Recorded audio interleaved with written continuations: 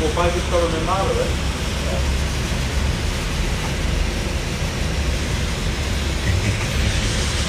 Here, you want me to hold it? Oh, that's so embarrassing. Wait, I gotta do it again.